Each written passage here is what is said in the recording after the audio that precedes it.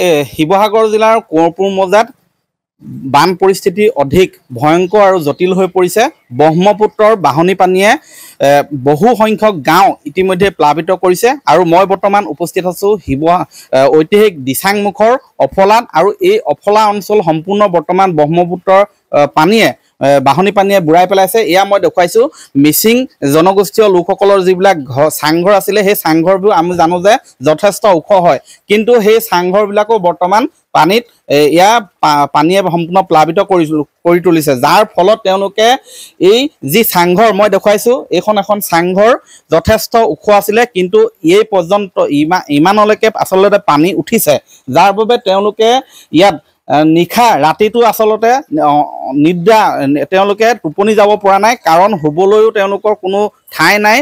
সেই একে অৱস্থা পশুধনবিলাকো আচলতে সকলো ওখ স্থানলৈ স্থানান্তৰ কৰিবলগীয়া পৰিস্থিতিৰ সৃষ্টি হৈছে। মোৰ কাষত বৰ্তমান তেওঁ এইসকল ভুক্তভোগী আছে। কি ধৰণৰ সমস্যাত পৰিছে?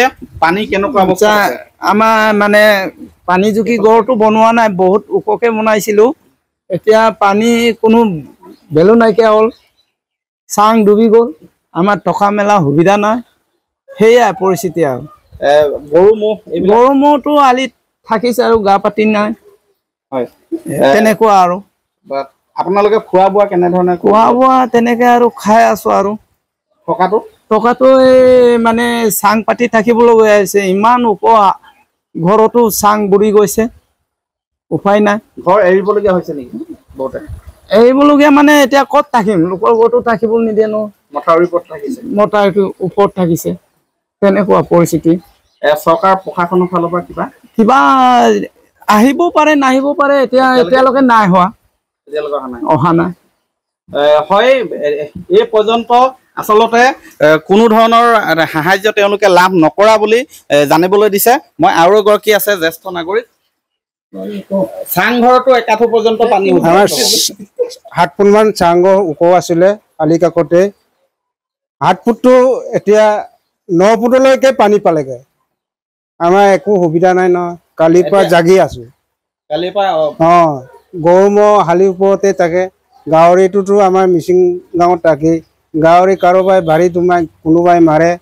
খেতি বাতি কৰিছিলে নে খেতি বাতি কৰিছিলে খেতি বাতি তেনেকে চব মেকেটা কি কি খেতি নষ্ট হৈছে?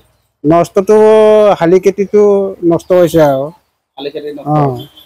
এতিয়া খোৱা বোৱাটো কি ধৰণে কৰিছে? খোৱা বোৱাটোতো- ৰান্ধিবলৈ জেগা নাই। তেনেকে আৰু সেই কাৰোবাৰ দোকানত তেনেকে বনাই গেছ চেছ সিহঁতৰ পৰাই য'ত বামত আছে মানুহকেইটা তাৰ পৰা বনাবলৈ দি পেলি তেনেকে খাই আছো। হয় মই পুনৰ দেখুৱাইছো এই দৃশ্য মই এয়া দেখুৱাইছো।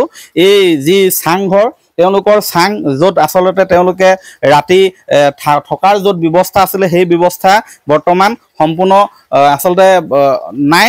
কাৰণ সেই চাংঘৰ ইয়াত যি ব্ৰহ্মপুত্ৰৰ বাঢ়নী পানী সেই বা- বাঢ়নী পানীয়ে প্লাৱিত কৰিছে। তেওঁলোকৰ এই চাংঘৰতে ৰান্ধি মেলি আচলতে খোৱাৰ ব্যৱস্থা আছিলে। কিন্তু সেয়াও বৰ্তমান বানপানীয়ে সম্পূৰ্ণ তেওঁলোকৰ চৌখা পৰ্যন্ত উটুৱাই লৈ গৈছে।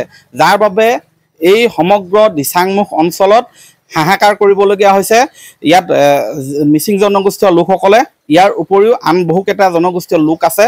সকলোৱে আচলতে বৰ্তমান এই ব্ৰহ্মপুত্ৰৰ যি বলীয়া বান আহাৰমহীয়া এই বলীয়া বানত বাৰুকৈ জ্বলা কলা খাইছে।